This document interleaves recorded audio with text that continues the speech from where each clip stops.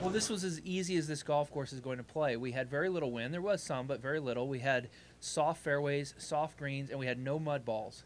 So we had the best opportunity uh, to score low, and we are all struggling because it's such a penalizing golf course. It's penalizing if you miss, miss the fairways, very difficult to, if you miss the greens, and it's not a given to two putt on these greens. They're some of the most pitched greens we've ever seen, and they're very quick it's a, a, course that's withstood the test of time and is challenging the best players in the world this week. As the week wears on and the conditions get a little bit drier, a little bit firmer, I think the course is going to get even more difficult, and the scores are going to going to hover uh, very close to par.